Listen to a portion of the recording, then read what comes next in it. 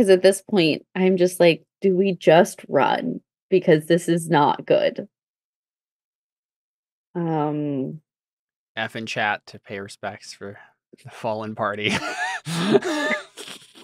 um, It's all right, guys. This just means we get to do campaign three so much sooner.